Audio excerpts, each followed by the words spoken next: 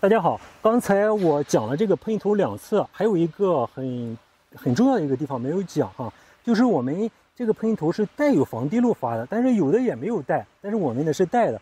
带这个防滴漏阀的好处是什么呢？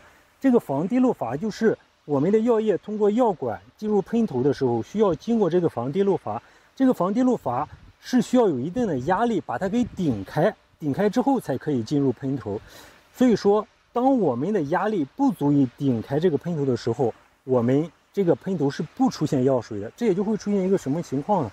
就是说，当我们不喷泄压的时候，我们的喷头不会随意的滴漏药液，不会把这个药液滴的到处都是。